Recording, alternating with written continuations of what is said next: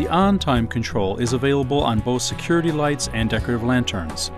The on time control determines how many minutes the light will stay on full bright after motion has been detected.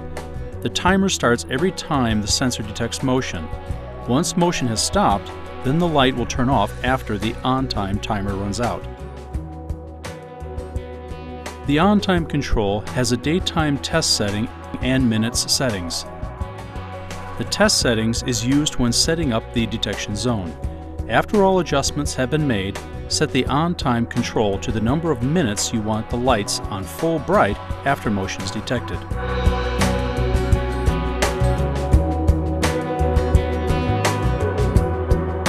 The Dualbrite control is available on select security lights and decorative lanterns. When using the Dualbrite control, the light will operate at a reduced power level until motion is detected. At dusk, Dualbrite turns the light fixture on at approximately half brightness. When motion is detected, the light comes on at full brightness for the number of on-time minutes selected. After the on-time minutes, the light will return to half brightness.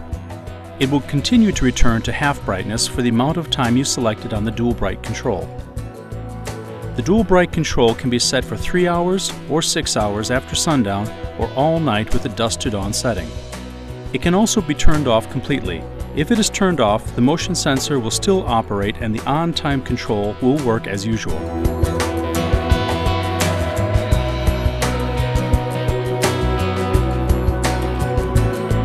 The lamp mode controls how the light comes on when motion is detected. There are three lamp modes to choose from. Normal mode, in which the lamps will come on instantly when motion is detected. Soft mode, in which when motion is detected, the lamps come on dim and gradually increase to full brightness. When motion is no longer detected and the on-time timer ends, the lamps will gradually dim to half bright, pause briefly, and then continue dimming until completely off. Flash mode, in which when motion is detected, the lamps will flash on and off twice and then turn on to full bright.